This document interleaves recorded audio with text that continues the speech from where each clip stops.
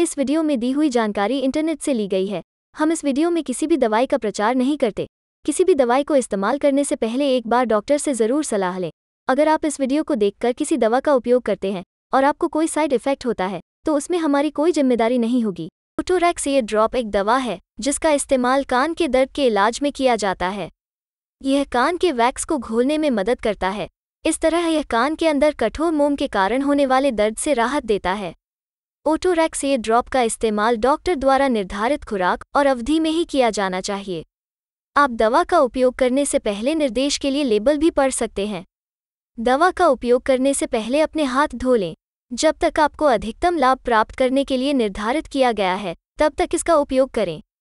यह दवा आमतौर पर सुरक्षित है और इसके साइड इफ़ेक्ट बहुत कम होते हैं। हालाँकि, यदि आप किसी भी दुष्प्रभाव का अनुभव करते हैं जैसे कि चिकते, जलन या कोई अन्य लक्षण जो आपको लगता है कि इस दवा के कारण है तो अपने डॉक्टर से परामर्श करें। अगर यह दवा आँख, नाक या मुँह में चली जाती है तो इसे खूब पानी से धो लें। यदि आप स्तनपान करा रही हैं या किसी अन्य बीमारी से पीड़ित हैं तो अपने डॉक्टर से सलाह लें। अपने डॉक्टर को यह भी बताएँ कि क्या आपको इस दवा के किसी भी घटक से एलर्जी है।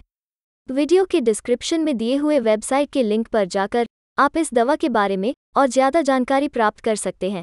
अगर आपको यह वीडियो पसंद आए हो तो कृपया इस वीडियो को लाइक करें। अगर आपका कोई सवाल या सुझाव है इस दवा के विषय में तो आप कमेंट में बता सकते हैं। अगर आपको ऐसे ही और दवाइयों की जानकारी के वीडियोस देखना पसंद है तो इस चैनल को सब्सक्राइब करें। साथ ही नोटिफिकेशन बेल को आल नोटिफिकेशन पर सेट करें। धन्यवाद।